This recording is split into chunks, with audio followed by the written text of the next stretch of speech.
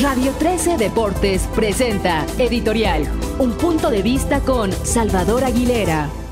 Amigos de Radio 13, ¿cómo están? Me da mucho gusto saludarles en esta ocasión. Quiero platicar con ustedes de un tema que se dio durante la semana. El director de Fuerzas Básicas del América, Alfredo Tena, habló de los trabajos que ha venido desarrollando el club para tratar de sacar nuevas figuras, nuevos talentos en el fútbol mexicano. Pero resulta que durante la charla que tuvo con la prensa, Alfredo Tena manifestó y lo dijo abiertamente que felicita a Jorge Vergara, presidente de las Chivas, por el trabajo que ha desarrollado su equipo en fuerzas básicas. Y además, Alfredo Tena señaló que han imitado, que han copiado la forma de trabajo de el Guadalajara porque ha hecho muy buen trabajo en cuanto a los jóvenes se refiere. Sorprende que el América de pronto contra su rival más odiado deportivamente, de pronto se digan cosas así cuando el América también ha trabajado en fuerzas básicas, ya ha conseguido sacar al mercado futbolero, elementos como el Torito Silva, como Enrique Esqueda, como el Woody Sánchez,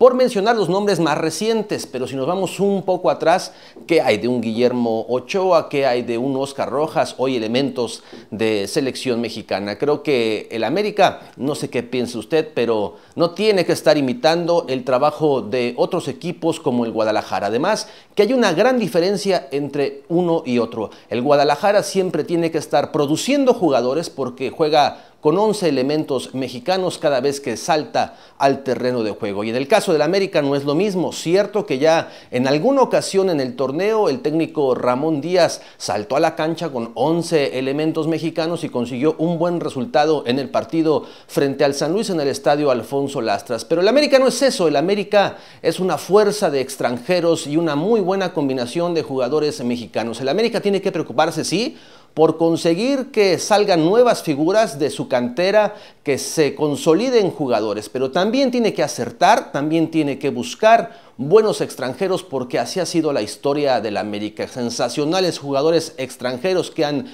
venido y que se han puesto la playera de las Águilas de la América. Bueno, nos podemos ir tal vez a la época de los 70 con un Carlos Reynoso para empezar con esa rica historia de jugadores extranjeros que han venido a la América. Alfredo Tena señaló también que no se busca de, de ninguna manera mexicanizar al equipo porque no es el estilo, no es la forma, no sería el América verlo con 11 mexicanos en el terreno de juego. Es un equipo acostumbrado a tener muy buenas figuras que han venido del extranjero y que deberá seguir por esa misma línea. Hoy tiene a Salvador Cabañas, hoy tiene a Alfredo Moreno que tal vez no se ha encontrado de todo con el gol, tiene al paraguayo Enrique Vera, tiene al argentino Sebastián Domínguez que no ha conseguido hacer buenas las cosas en este torneo, pero que trata de recuperarse. Hay elementos que tal vez no merecen vestir la playera del América porque son de mayor jerarquía los extranjeros que han venido y tal vez en ese aspecto se ha fallado un poco. En el pasado reciente podemos ver que han venido